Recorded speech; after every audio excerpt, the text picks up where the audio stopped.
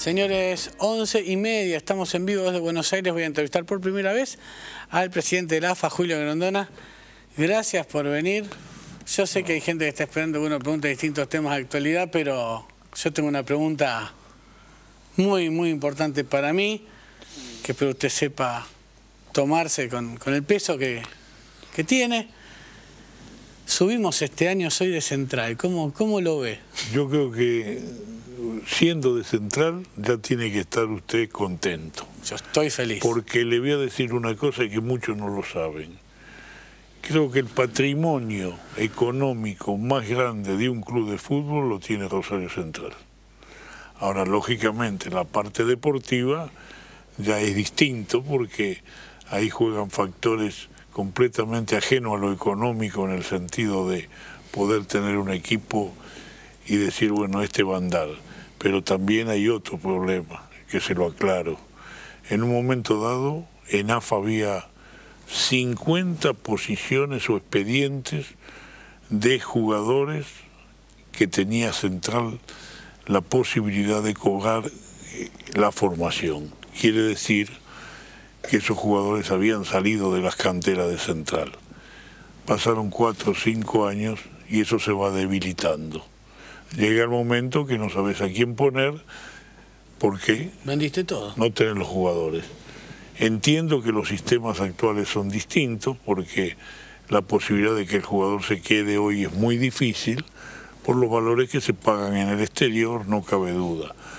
Pero exageradamente y de muy chicos no se puede vender. Entonces eso está pagando consecuencias que afortunadamente, como es un lugar privilegiado Rosario. Yo digo que Rosario es la capital del fútbol. ¿Por qué motivo? Técnicos, jugadores, todo, todo de buenas condiciones y que están la mayoría en seleccionados y en primeros lugares son las de, esa parte del usted hablaba del patrimonio más grande, hablaba de la gente, ¿no? O sea, lo, que es el, aparte de la gente, aparte de la gente, y el, patrimonio económico también. Ah. Tiene un montón de propiedades, un montón de, de, de bienes fijos que otros clubes no los tienen. Está bien parado. Perfectamente, totalmente. Es un gran, eh, ¿cómo te puedo decir? En un negocio común es un gran cliente para la AFA, para el fútbol. Claro. Es una cosa que se lamenta que no esté en el lugar que tiene que estar. Y Julio, y ya avanzando un poco, por, ahí nunca falta alguno que mire el programa y no es de central. Curioso, pero puede pasar.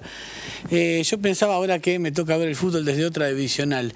A partir del fútbol para todos, que reparte más dinero entre los clubes, los, clubes van a empezar a tener más guita año a año. ¿La diferencia entre la A y las otras divisionales se puede ir marcando más? Que cada vez se marca menos, cada vez es más parejo. ¿Y a partir de esto no puede cambiar? Igual. Igual. Igual, porque lógicamente el reparto de todas las instituciones está eh, más o menos equilibrado y todas tienen la posibilidad de tener o de aguantar jugadores de mayor valor porque están recibiendo mucho más. Entonces todo eso va equiparando. Hoy el tema fundamental que se tiene es que las instituciones no pueden tener tampoco mucho tiempo los jugadores porque lógicamente las ofertas que tiene el jugador superan las posibilidades de los recursos de los clubes argentinos y la legislación te mata de, movida y bueno, lo puedes aguantar. No es que los clubes quieran vender, se ven obligados a vender. Todos quisieran tener los jugadores. Pero ahora van a tener más plata. Pero por más plata que se tenga, el jugador al tener el pase, y es el negocio en el sentido de futuro, y es muy difícil tenerlos. Hoy en la Argentina, prácticamente de la Argentina, no en la Argentina, la cantidad de jugadores que hay en el exterior es incalculable. ¿Y, a qué atribuye usted? Ayer salió campeón Estudiantes, el buen momento está pasando Estudiantes, está eh, pasando Vélez, y el mal momento de los clubes grandes, de River, de Boca. Yo creo que esa venta de jugadores obligatoriamente que han tenido que hacer los clubes grandes, la circunstancia que los clubes chicos no provean a los clubes grandes como era antiguamente y hoy directamente venden los clubes chicos al exterior. Ese impasse lo perjudica al club grande, ¿Por qué motivo? Porque los jugadores que ellos tienen también los quieren y no pueden reponer de jugadores que vengan de clubes más chicos. A ver si entiendo, a ver si entiendo. Quiere decir, el pase que había antes de Atlanta River y de River al exterior no existe más. Claro. Hoy va de Atlanta al exterior, en base a que a la tecnología, a las posibilidades que hay de verse, de conocerse, a las comunicaciones. Y, en ese cambio del negocio perdieron los grandes, más allá de las administraciones. Es difícil.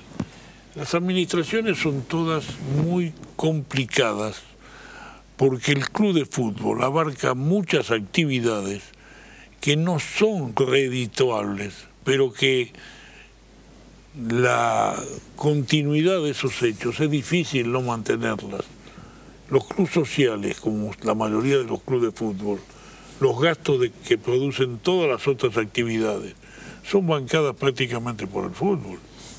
No hay otra entrada de cierta magnitud como para poder seguir aguantando todos los deportes que se aguantan, todas las, partes sociales que aguantan, incluso las escuelas. Las, es una cosa que llega a un momento que eh, es muy difícil poder equilibrar recursos genuinos con gastos. Pero más allá de eso, no, no es que le va mejor a los que tienen mejores dirigentes, a los más prolijos, en algún caso, será que yo hablo del club que yo vengo, menos ladrones. El tema, el, tema, el tema del fútbol tiene una particularidad, que las generaciones van cambiando. Y yo, por ejemplo, con gente que tiene hoy 40 años, no tiene noción de lo que era antes y de lo que es ahora. Si ustedes van tomando fotografías o van tomando archivos, usted ve todas las instituciones completamente distintas, con un avance en su estructura, con un avance incalculable de, los valores que tienen. Ahora, ¿qué es lo que sucede? Es como en todos lados. El fútbol es pasión, economía y deporte. Si fuera primero economía, después deporte y lo último pasión, se manejaría mejor. La pasión llega un momento que te produce que ya no razonás. Pega la pelota en el palo, pasa alguna cosa, esto y el otro, y vos lo que querés que venga otro jugador, que este técnico no esté más. Es algo que supera lo natural, lo común. Y es muy difícil poder aguantar esas presiones. y te producen hechos que el dirigente va y compra un jugador más, compra esto, compra el otro. Y no es fácil. O sea, las malas gestiones en el fútbol no están ligadas necesariamente a la deshonestidad del dirigente, que es lo que piensa el hincha siempre. Yo siempre pienso eso, que compró porque es un ladrón. Bueno, pero lógicamente y prácticamente la mayoría de los casos, en la mayoría de los casos el dirigente pone, no saca. ¿Sí? Sí, seguro, con toda seguridad. Usted sabe que mucho hincha cree lo contrario, ¿no? El hincha es pasional. El hincha vos le podés presentar que hiciste una pileta, que hiciste esto, que hiciste lo otro, y el domingo pegó la pelota en el palo, perdiste, el lunes te quieren matar. Y es así. Acá hay una, una pasión desmedida, donde deportivamente eh, se busca ganar, en, la cancha hay que ganar, no hay cosas raras afuera, como muchos también imaginan. Después cuando se dan los resultados o los campeones no son los que dicen que tienen más peso o menos peso, resulta que el que dice que tiene menos peso es el que sale campeón. Entonces, lógicamente, alguna equivocación hay. ¿Cómo, usted tiene mucha experiencia, está en la AFA desde el 79, ¿cuál fue su, conclusión? ¿Cuál, es la, idea que le dejó a usted el episodio Maradona en este Mundial? ¿Cuál fue la, sensación y, la idea que le dejó, el aprendizaje quizás? Bueno, Maradona es algo muy particular en la vida del fútbol argentino porque no cabe ninguna duda que hay un antes y un después. Ahora, lógicamente, los distintos factores que te van llevando, quién sabe, se van haciendo algunas cosas que no correspondían hacer o que querían que se haga y no era el momento. Cuando llega el momento, el momento llega, se nomina, todo el mundo conforme, pero lógicamente el, desarrollo de lo sucedido merece una, una, actuación distinta a lo que se había hecho. Había mucha diferencia entre lo que es Diego y sus ayudantes. Ah. Entonces, se pensó, se pensaba y se piensa que tenía que haber una cierta eh, menos, menos diferencia, hablemosle clarito. Y bueno, las circunstancias se dieron de que no quisiera tener cambios en, su equipo que se había formado y pareciera que no era esa la intención del comité ejecutivo, ni mía tampoco, seguir manteniendo el cuerpo técnico como estaba.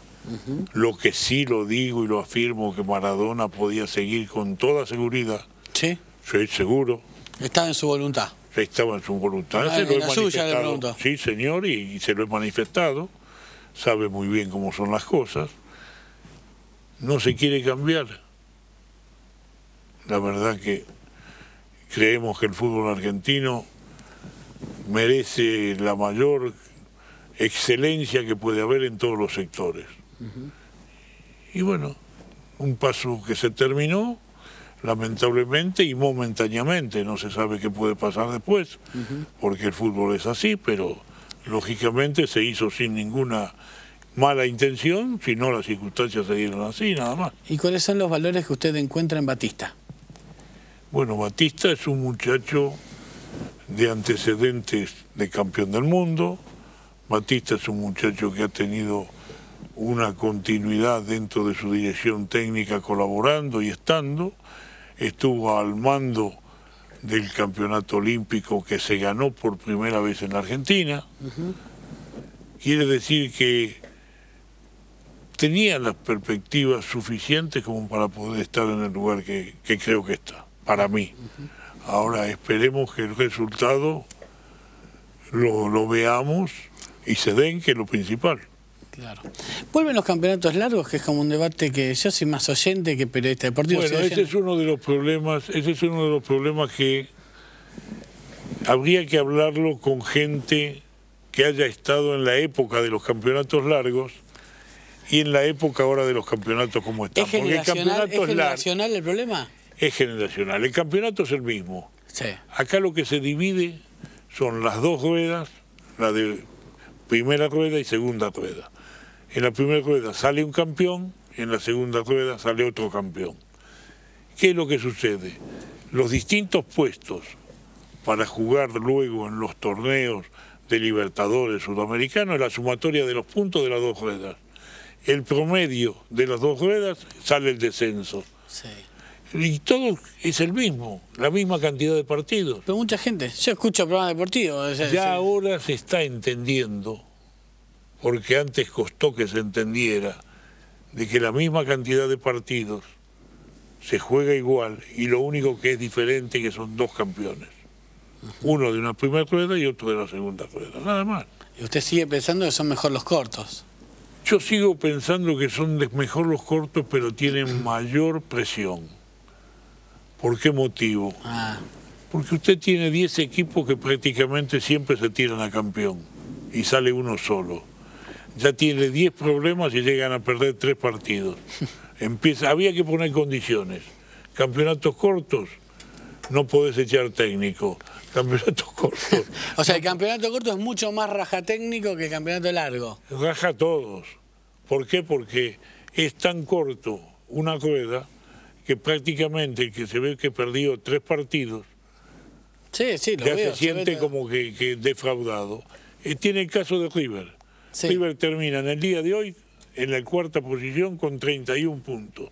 Cuando empezó el campeonato estoy segurísimo que nadie pensaba que River iba a tener 31 puntos. Sí. Y al final llegó en una buena colocación, y estando y penando durante todo el torneo. Y tiene sus pros y sus contras.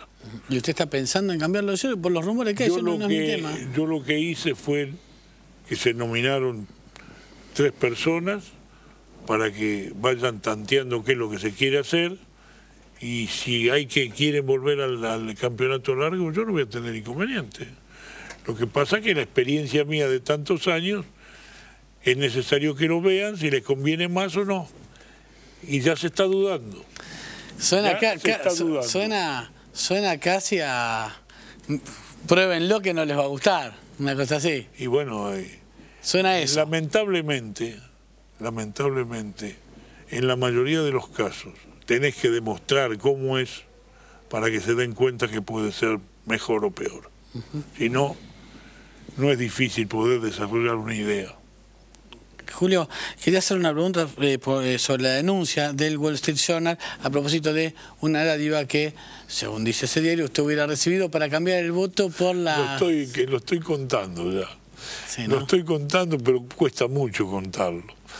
Es algo completamente burdo, eh, escrito por uno que perdieron lamentablemente, sacaron en la primera votación tres votos Estados Unidos sacó tres votos. fue, fue, eh, fue sede hace poco, relativamente poco, en términos históricos, ¿no? No, ahora fue. Por eso. Pero aparte de eso, sacan, votan 20, votaban 21, 20 y el presidente. ¿Cómo es? Cuénteme bien cómo es la... Y son representantes de los continentes. Europa tiene más representantes, creo que tiene 7 o 8, y los demás continentes 3. Entonces se va votando quién es, quién no es, eh, voto secreto, no se sabe, nosotros estábamos reunidos todos en un salón y no sabíamos quién era el que había ganado el del 1918, el de 2018, que después salió ganando Rusia, todo el mundo decía que ganaba España, y en el otro, el de 2022, que estaban cuatro países asiáticos, incluido Australia, que y Estados Unidos. Y se fue dando, se fue dando, donde prácticamente Qatar, que pertenecía a Asia, eh, le sacó una diferencia como de 8 o 9 votos a Estados Unidos. ¿Y, usted cree que esto es una respuesta de los que perdieron, digamos? ¿Usted lo ve de ese punto de vista? Hay un hecho en el fútbol donde tanto Inglaterra como Estados Unidos no están teniendo dirigencia a nivel elevado como fue en toda la historia, no hay dirigentes ingleses que dominen la mayoría de las instituciones deportivas que ellos fundaron, porque prácticamente los deportes nacieron de esa zona, y se ven bastante molestos y perjudicados porque no tienen la actividad, colegas de ustedes en Inglaterra o a nivel internacional o en Estados Unidos, como para poder tener material. Y eso siempre trae problemas. Hay situaciones que nosotros, por ejemplo, acá, en nuestro país, que se habla del federalismo, del no federalismo, si usted va a hablar antes del 79, qué era el fútbol del interior y qué es hoy, es un cambio del día y la noche. Los torneos, la actividad, la cantidad de, intervención que tiene el fútbol del interior, los dirigentes del interior. Y la gente piensa, quién sabe que no es así. Y sin embargo hubo un cambio fundamental porque las generaciones que van cambiando no van conociendo lo que había pasado. Es lo mismo que puede pasar que yo diga Alfredo Di Stefano y Messi. Hacemos una votación los más viejos van a votar a Alfredo Di Stefano, que lo vieron. Los más jóvenes van a votar a Messi, que lo vieron. Por eso son comparaciones que cuesta tener que hilvanarlas para dar la razón de cómo tiene que ser. Muy bien. Eh, dos preguntas finales. Primero, ¿ese es el famoso anillo del que todo el mundo habla? Todo el mundo habla del todo pasa. ¿Cuál es la historia de ese anillo? Este anillo tiene su historia en Egipto. Esto le tuvo el, el Ramsés II, que fue un dirigente, un príncipe, no sé, Egipto, un faraón. Tenía el famoso harén que tenían todos ellos. Y había dos chicas que se buscaban la forma de que él se decidiera quién de las dos era más linda. Entonces, Francés llama a su asistente y le manda a comprar dos anillos de brillantes, de los mejor, iguales. Cuando el asistente los trae, dice, bueno, anda, dale uno a cada uno separadas, que no sepan en absoluto y que sean prudentes al usarlo. Y el asistente le manifiesta a Rancés, dice, pero en algún momento se van a cruzar, en algún momento puede pasar que se suceda el hecho que sepan que, que son los dos anillos iguales. Todo pasará. Y así fue, todo pasa. ¿Y para usted qué significado tiene? Que las cosas que no tienen la importancia que merecen tenerla, pueden decir todo paso, pero todo no es que paso, algo queda. Y hay cosas que en la vida te van a quedar para siempre. Pero lo de diario nuestro, el problema de un partido, el problema de un hecho, todo paso. Eso es lo fundamental, una filosofía que no es tampoco pensar que uno es un cabeza fresca porque todo pasa, no, todo tiene un límite.